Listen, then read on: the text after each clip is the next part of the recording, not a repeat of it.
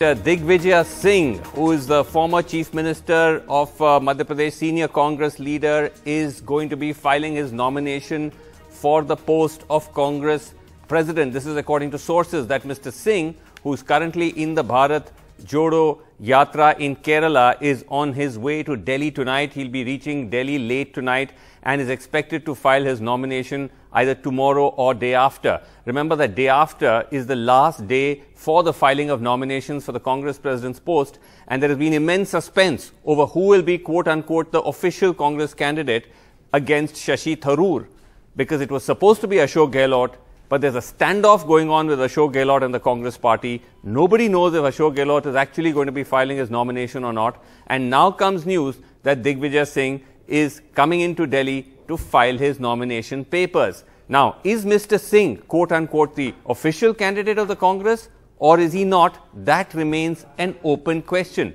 Remember that the Gandhi family, the Congress officially claims that they're not backing or endorsing any candidate. It is going to be an open, free for all kind of election. Of course, we know in reality that's not how it works. There is always a tacit hint or an indication given that so and so is the official candidate. That was meant to be Ashok Gehlot.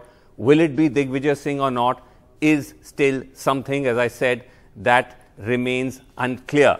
Mr. Singh had, in fact, last week in an interview to us on NDTV said that he is considering throwing his hat in the ring. Why did you rule me out? He said, and he said, wait until the 30th of this month, indicating that he may yet contest.